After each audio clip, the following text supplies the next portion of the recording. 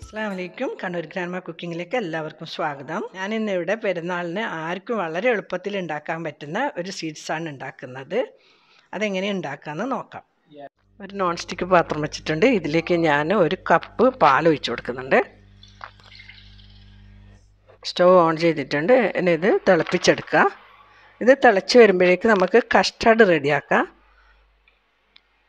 ഒരു table spoon custard പൊടി ഇട്ട് കൊടുക്കുന്നുണ്ട്. ഒരു കപ്പ് പാലിന് ഒരു ടേബിൾ സ്പൂൺ കസ്റ്റാർഡ് പൊടി ഇതിലേക്ക് ഞാൻ കുറച്ച് പാൽ ഒഴിച്ചിട്ട് കലക്കിയെടുക്കാം.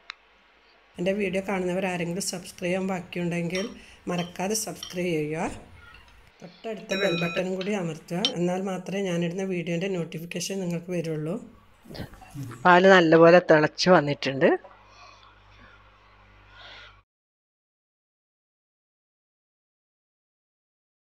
ഇതിലേക്ക് ഞാൻ രണ്ട് ടേബിൾ സ്പൂൺ പഞ്ചസാര ചേർത്ത് കൊടുക്കുന്നുണ്ട്.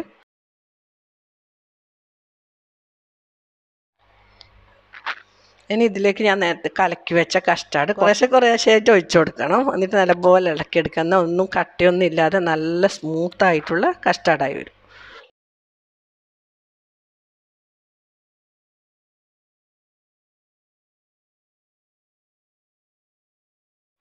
ആയിട്ടുണ്ട്. അതാ ഈ ഒരു കട്ടിയാകുമ്പോഴേക്ക് നമുക്ക് സ്റ്റൗ ഓഫ് ചെയ്യാം. ഇതൊരു മൂന്ന് മിനിറ്റ് ഞാൻ കുക്ക് ചെയ്തിട്ടുണ്ട്.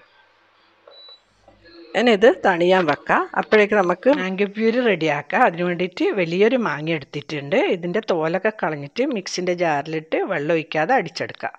കസ്റ്റാർഡ് നല്ലപോലെ തണുത്തിട്ടുണ്ട്. തണുത്തതിന് ശേഷം ഞാൻ ഇതിലേക്ക് മാംഗോ പ്യൂരി ഒഴിച്ചു കൊടുക്കുന്നുണ്ട്. ഞാൻ ഇത് ഒരു മാങ്ങ പ്യൂരിയാക്കി എടുത്തതാണ്. കുറച്ച് കുറച്ചിട്ടിട്ട് ഇളക്കി മിക്സാക്കി എടുക്കാം.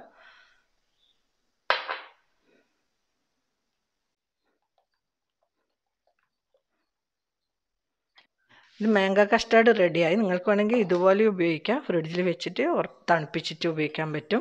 അപ്പോൾ ഇതിലേക്ക് ഞാൻ വിപ്പിഡ് ക്രീം അടിച്ചെടുത്തിട്ട് ഇട്ട് കൊടുക്കുന്നുണ്ട്. ഇത് ഇതില്ലെങ്കിൽ നിങ്ങൾക്ക് ഫ്രഷ് ക്രീം ഉപയോഗിക്കാം. രണ്ട് ടേബിൾ സ്പൂൺ ഇങ്ങനെ ഒഴിച്ച് ഇട്ട് കൊടുത്തിട്ടുണ്ട്. ഇനി നല്ലപോലെ മിക്സ് ചെയ്തെടുക്കുക. നല്ലപോലെ മിക്സ് ചെയ്തെടുത്തിട്ടുണ്ട്. ഉണ്ട് ഇനി ഞാൻ ഇതൊരു പുഡിംഗ് ഡിഷിലേക്ക് മാറ്റണം. ഞാൻ ഇവിടെ കുറച്ച് നൈസ് ബിസ്ക്കറ്റ് എടുത്തിട്ടുണ്ട്. അമ്പത് ഗ്രാം നൈസ് ബിസ്ക്കറ്റ് എടുത്തിട്ടുണ്ട്. നൈസ് ബിസ്ക്കറ്റ് നിങ്ങൾക്ക് ഏത് ബിസ്ക്കറ്റ് എടുക്കാം. അപ്പം ഞാനിത് ഈ ഡിഷിലേക്ക് ഓരോന്നായിട്ട് വെച്ച് കൊടുക്കുന്നുണ്ട്. അപ്പം ആദ്യം ഇത് ഞാൻ ഒരു പാത്രത്തിൽ പാലെടുത്തിട്ടുണ്ട് ഇതിൽ മെല്ലെ ഇങ്ങനെ മുക്കിയെടുത്തിട്ട് കുറച്ച് സോഫ്റ്റ് കിട്ടാനാണ് ഇവിടെ ഇങ്ങനെ വെച്ച് കൊടുക്കുന്നുണ്ട്.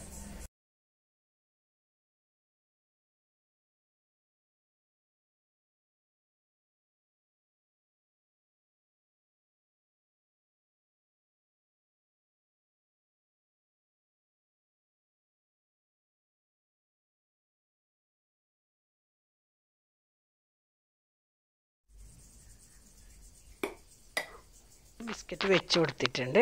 ഇനി ഇതിന്റെ മേലിലേക്ക് നേരത്തെ റെഡിയാക്കി വെച്ച മാംഗോ കസ്റ്റാർഡ് ഒഴിച്ച് കൊടുക്കാം. ഇതിലേക്ക് ഞാൻ കുറച്ച് അണ്ടിപ്പരിപ്പും ബദാമും ചെറുതായി മുറിച്ചത് ഇട്ട് കൊടുക്കുന്നുണ്ട്.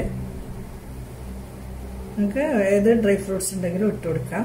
അതിലേക്ക് നേരത്തെ പോലെ തന്നെ പാലിൽ ബിസ്ക്കറ്റ് മുക്കിയിട്ട് ഇതുപോലെ വെച്ച് കൊടുക്കാം. ബിസ്ക്കറ്റ് വെച്ച് കൊടുത്തിട്ടുണ്ട്. വീണ്ടും അതുപോലെ തന്നെ മാംഗോ കസ്റ്റാർഡ് ഒഴിച്ചു കൊടുക്കാം. ഇത് ഒരു നാല് മണിക്കൂർ നമുക്ക് ഫ്രിഡ്ജിൽ വെച്ചെടുക്കാം. ഫ്രിഡ്ജിൽ നിന്ന് പുറത്തെടുത്തിട്ടുണ്ട്. നമ്മുടെ മാംഗോ കസ്റ്റാർഡ് പുഡിങ് റെഡി ആയിട്ടുണ്ട്. നല്ല ടേസ്റ്റാണ്. വളരെ എളുപ്പത്തിൽ ഉണ്ടാക്കാൻ പറ്റുന്നതാണ്. എല്ലാവരും ഒന്ന് ട്രൈ ചെയ്ത് നോക്കണം. ഇഷ്ടപ്പെട്ടിട്ടുണ്ടെങ്കിൽ ലൈക്ക് ചെയ്യുക ഷെയർ ചെയ്യുക നിങ്ങളെ വിലപ്പെട്ട അഭിപ്രായം അറിയിക്കുക. ഇൻഷാല്ല നല്ലൊരു വീഡിയോ ആയിട്ട് അടുത്ത് തന്നെ കാണാം. താങ്ക്